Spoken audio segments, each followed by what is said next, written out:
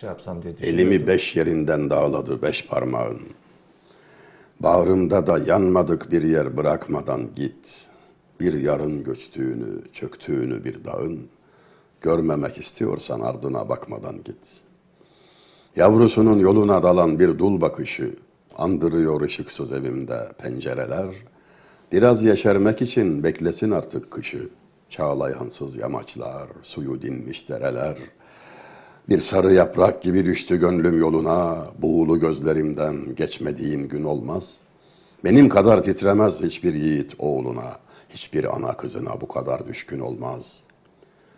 Bin fersahtan duyarım kimle gülüştüğünü, alnından öz kardeşin öpse ben irkilirim. Değil yalnız ardına kimlerin düştüğünü, kimlerin rüyasına girdiğini bilirim. Gözlerimi gün gibi kamaştıran yüzünü, daha candan görürüm senden uzaklaşınca. Sararırsın dönüşte görünce öksüzünü. Bir gelinlik kız olur aşkım senin yaşınca. Elimi beş yerinden dağladı beş parmağın.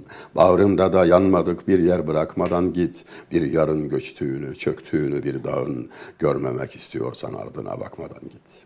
Faruk Nafiz Çamlıbel'in heceyle yazdığı harika bir eser, bir ayrılık şiiri.